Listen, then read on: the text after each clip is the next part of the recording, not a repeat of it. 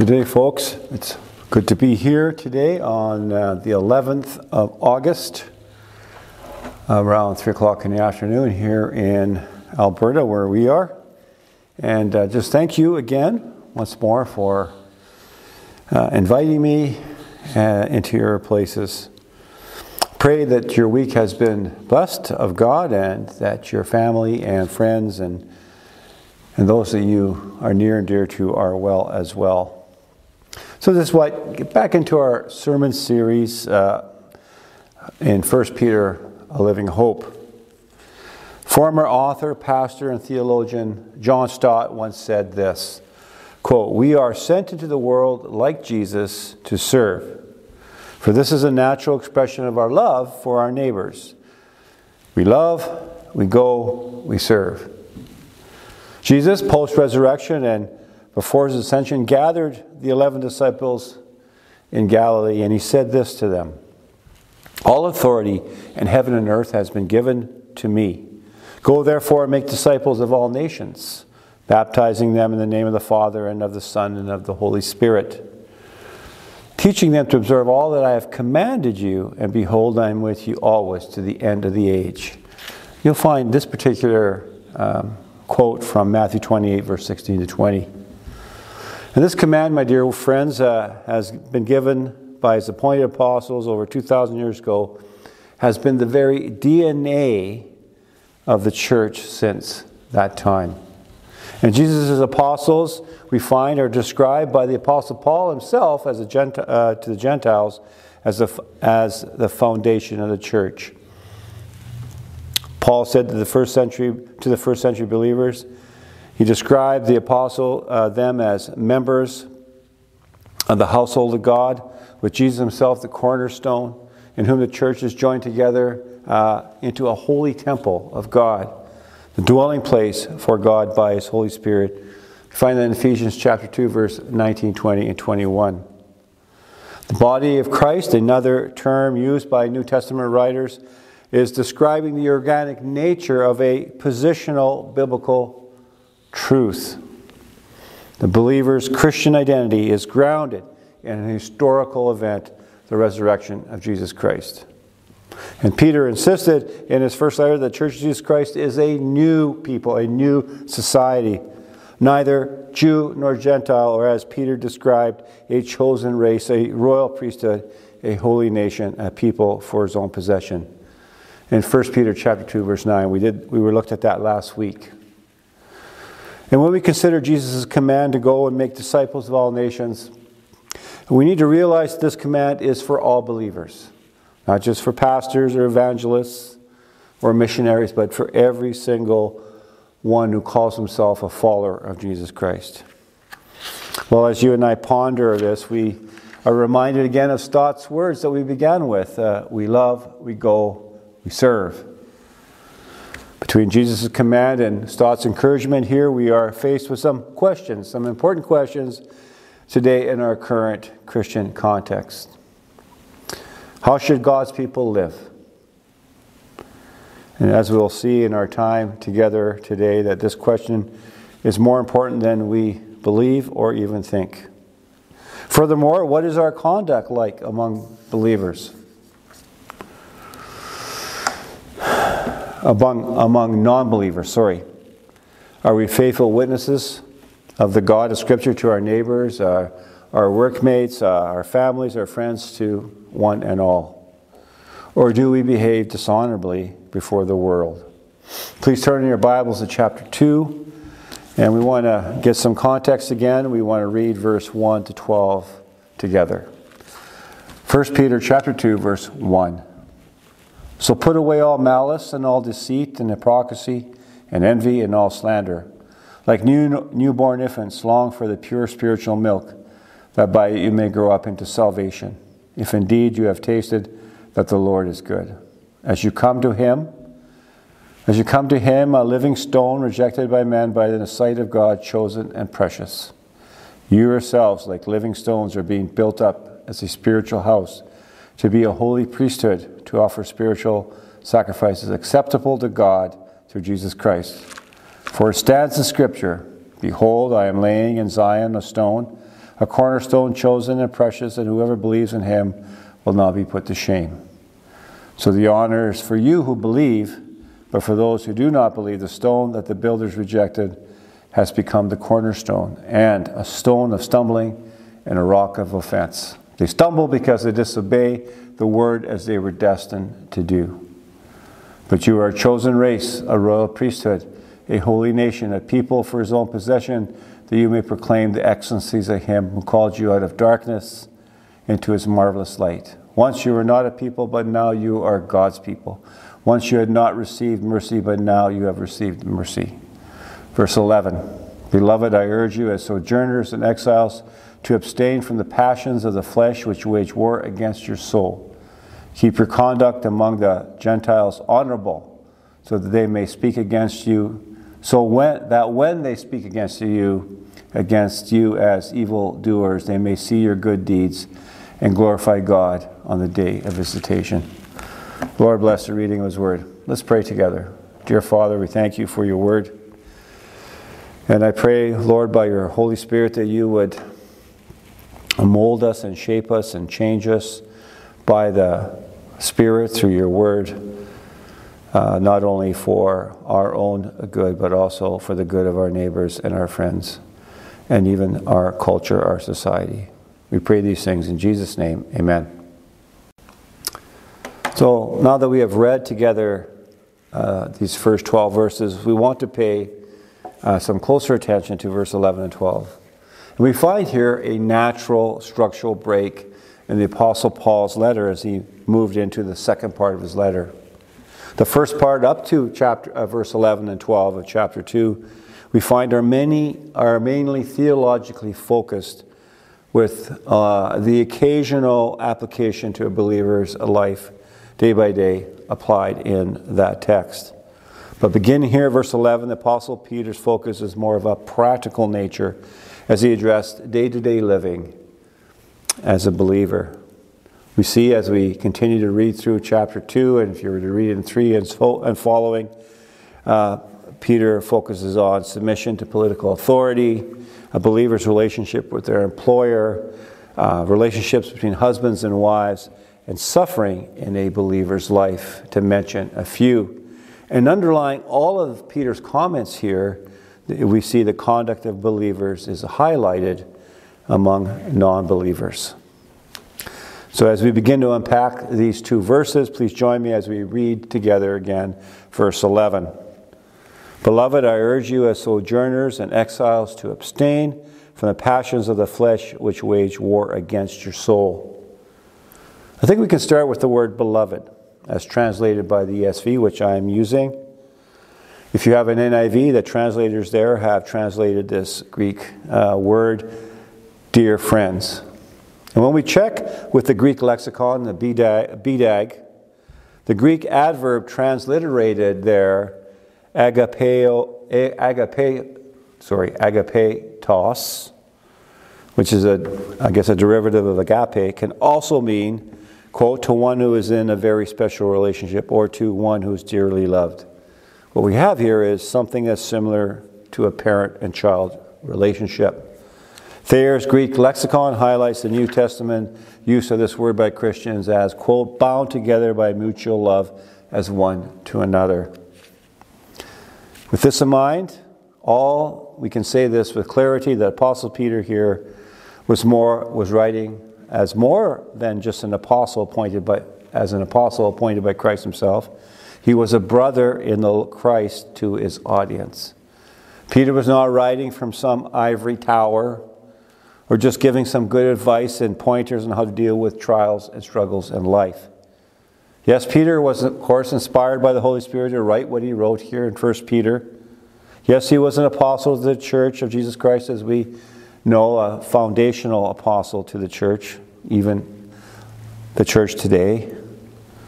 Peter was writing as one who had his own trials and struggles because of his faith in Christ. Peter walked the talk, my friends. He lived the talk. He walked the talk and he lived the talk and one day would be executed for his obedience and faithfulness to Christ. See, Peter knew what his audience would be up against for their faith in Christ. and his pastoral heart would say, Dear friends, I urge you as sojourners and exile to abstain, exiles, to abstain from the passions of the flesh. That's your verse 11. Please notice with me now the phrase, I urge you as sojourners and exiles. This phrase brings us right back to chapter 1, where we find Peter was writing his letter to who? To those who are elect exiles. Chapter 1, verse 1. And from chapter 1, verse 1 to our text today, Peter there began to interpret for his audience what God had created because of the work of Christ on the cross. We find Peter's statement here, for example, in chapter 2, verse 10, in a very good way, summarizing Peter's theological explanation. Peter said, Once you were not a people, but now you are God's people. That's verse 10 of our chapter 2 here. You see, friends, God fulfilled his redemptive purposes in the life and death and resurrection of Jesus Christ, and thereby creating a new people, if you will, a new society, a new society distinct from Jew and Gentile. We go to Apostle Paul for commentary on this, and in his letter to the Galatian church, he said this There is neither Jew nor Greek, there is neither slave nor free, there is no male or female, for you are one in Christ Jesus. You'll find that in Galatians chapter 3, verse 28. And remember the last time we were together, just a week ago, that the Apostle Paul had reinterpreted an Old Testament type to describe the New Testament people of God of the first century of you and I today. Peter said in verse 5 You yourselves, like living stones are being built up as a spiritual house, to be a holy priesthood, to offer spiritual sacrifices acceptable to God through Jesus Christ. Friends, every believer, each believer, is a living stone in the spiritual house, the spiritual temple, if you will, offering spiritual sacrifices to God. Let's press pause for a moment as we now turn to more personal level, and let me ask you this question Have you become comfortable in your skin? Have you become comfortable in your skin? They might be saying, What do you mean, Pastor? Well, this is what I mean. I mean the opposite of this particular saying that many of us are familiar with.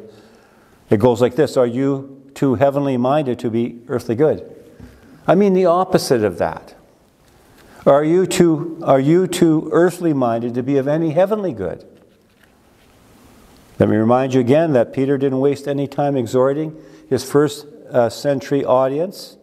Back in chapter 1 again, he said, As obedient children, do not be conformed to the passions of your former ignorance, but as he who called you is holy, also be called holy in all your conduct, since it is written, and then he quotes Peter quoted from uh, Leviticus chapter 14, 44, where God said, You shall be holy, for I am holy. We find this in chapter 1 of our letter here, 14 to 16. So, again, how should God's people live? What is your conduct like among non believers? Are we faithful witnesses of God, of, of the God of the Scriptures, to our neighbors, uh, to our workmates, our families and friends, to one and all? Or do we behave dishonorably before the world? Again, Peter had made his point. The New Testament people of God, that's you and me, was created by God for God. They are God's possession. Believers no longer belong to the world for we see here in verse 11, Peter is clear of that as he calls his first century audiences elect exiles, sojourners, and exiles. As one commentator put it, quote, as members of a new people, Christian followers are aliens on earth, but they should behave honorably in human societies, just as human societies expected of other resident aliens. You know, friends, to behave honorably begins with each one of us. We need to be brutally honest with ourselves as we look around our current Christian culture and the culture around us. We need to ask ourselves does the outside match the inside? Are we on the road to holiness or on the road to worldliness? We look at this word here in verse 11 that's translated by the ESV Passion. Some of other ways of translating it also, for example, it could be lusts. That's a good way of translating this word. And we find an example of this also in the letter that James wrote, exhorting the believers against worldliness. James in chapter 4 said, What causes quarrels and what causes fights among you? Is it not this, that your passions are at war with you? You desire and do not have, so you murder. You covet and cannot obtain, so you fight and quarrel. You do not have because you do not ask. You ask and you do not receive because you ask wrongly to spend it on your passions. You adulterous people. Do you not know that friendship with the world is enmity with God? Therefore, whoever wishes to be a friend of the world makes himself an enemy of God. James chapter 4, verse 1 to 4. Apostle Peter here in verse 11 said, Abstain from the passions of the flesh which, were, which wage war against your soul. Again, we could say, abstain from the lusts of the flesh, personal and cultural as well. The Apostle Paul, in his first letter to the church of Corinth, was dealing with a church that was uh, very popular, very rich, very influential, yet had idolatry and sexual moral, immoral, immorality within. And he, he deals with that by saying to those first century believers at Corinth that they should stop their idolatry, they, they should stop their sexual moral, morality. Put it this way flee from idolatry. 1 Corinthians 10 14. My friends, you, we have to realize this that a believer's life is a daily spiritual battlefield. This uh, term here used in verse 11, which uh, uh, the passions of the flesh which wage war against your soul, this is war like language, battle like language.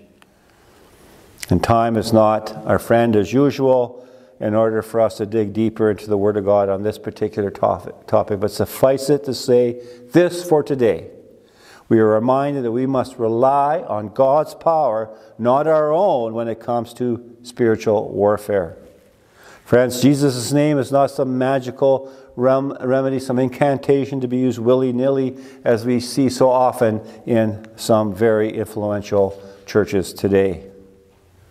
To the point we are instructed by the Word of God, and the Word of God instructs us to put on the whole armor of God daily and depend on the power of the Spirit and the Word of God, which is the sword of the Holy Spirit, as we daily engage in spiritual warfare.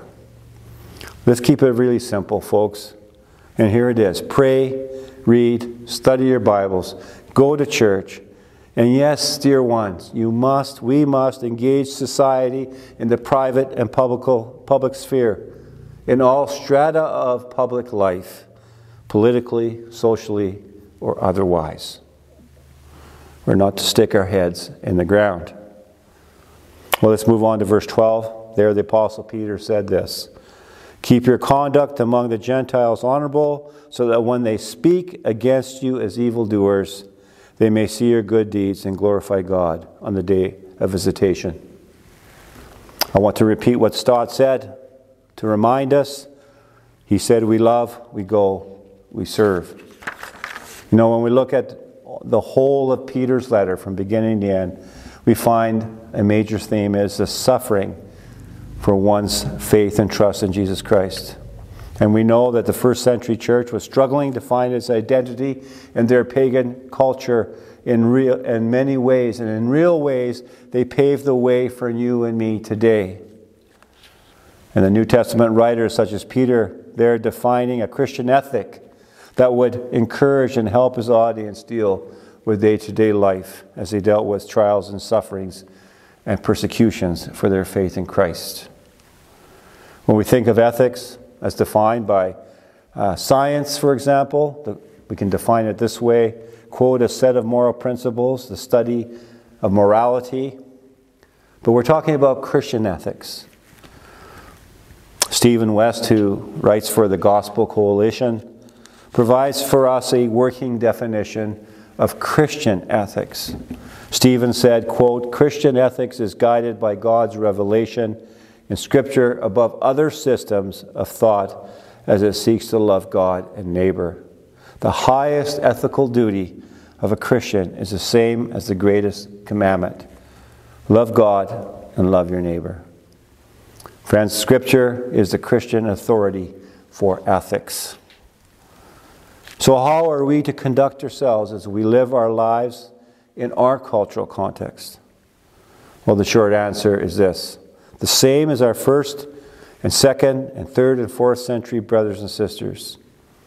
Let me share an example of this to you. The year was approximately 165 AD. That's a few years ago. It was during the reign of Emperor Marcus Aurelius we find that an epidemic swept through the Roman Empire. Now, speculation has been uh, what this epidemic was. We can't be sure, but it, there was one. But whatever the cause of the plague, it was lethal. It lasted 15 years of its, and it is suggested that at least a third of the population may have died. There was no treatment. We go fast forward about a century later, approximately 251 AD, another plague came along. And in this plague, those who could not flee, like the rich that had summer homes or could afford to go to other places, they avoided any contact with the afflicted. And victims that had uh, symptoms of this plague were literally thrown in the streets. That doesn't matter if they were family, friends, loved ones, they were tossed in the street and left to their own devices. And during these two plagues, Christians cared for their sick. They stayed and they cared for the sick rather than desert, desert them, rather than tossing them into the street. And in doing so, saved many lives.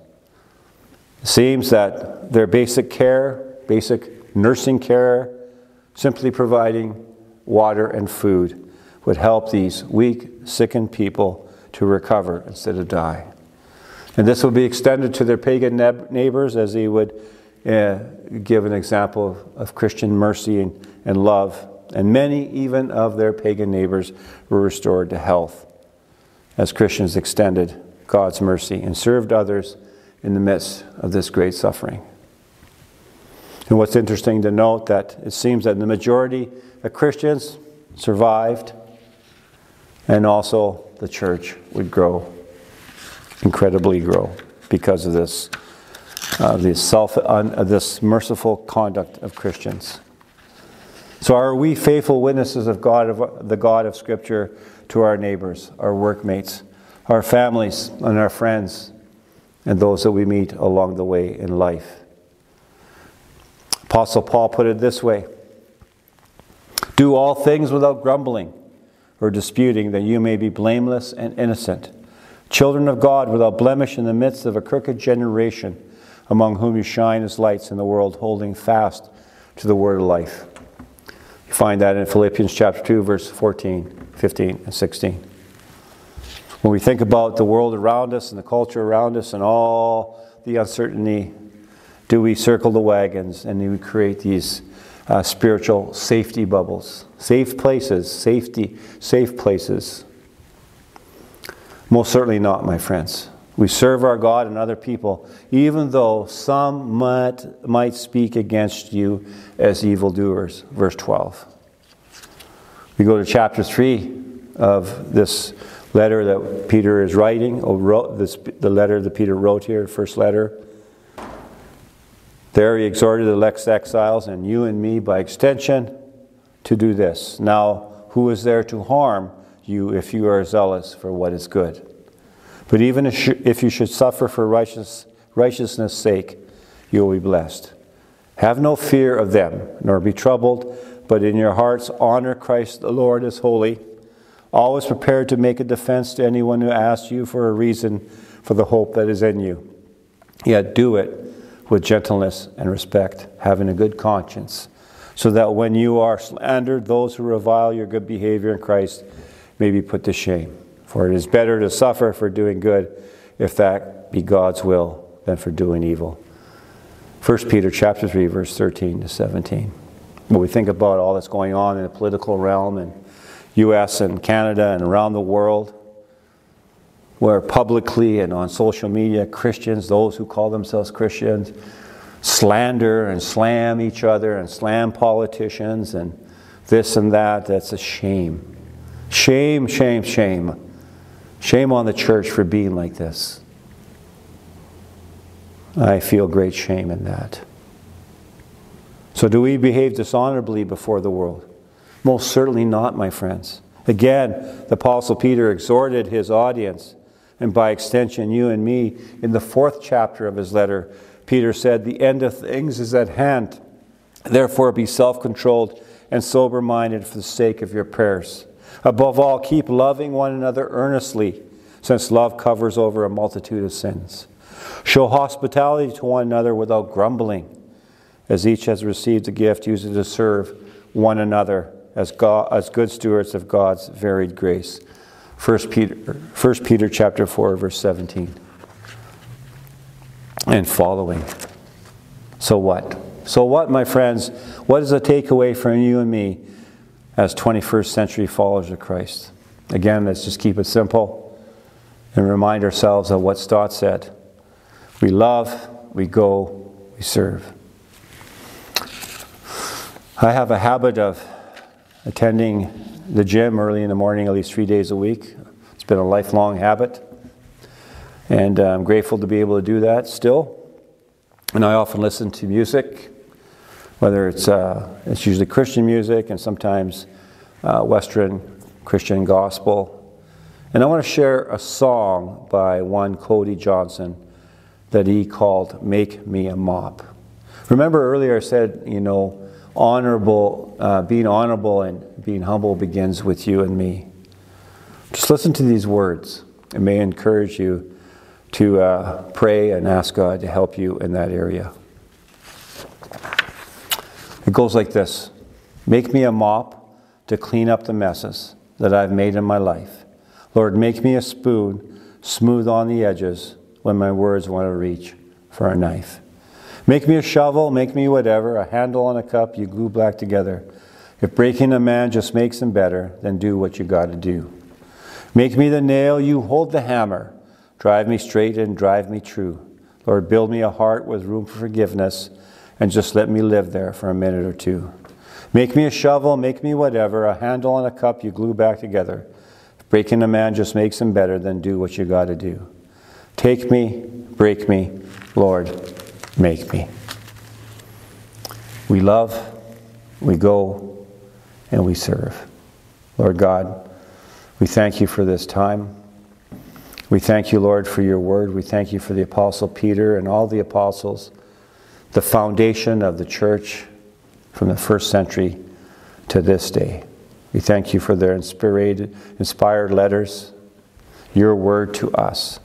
I pray for us as we engage our family, our friends, our churches, the private sector, the private sector, all strata of culture, politically, socially, etc that we would do so humbly, remembering what Christ has done for us, that we would be bearers of good news, of mercy, of humbleness, that we would be honorable in our culture. And thank you, Lord, for this message. Lord, may you build in us a life that honors God and glorifies Him. We thank you and praise you in Jesus' name. Amen. Thanks, folks. God bless. Shalom.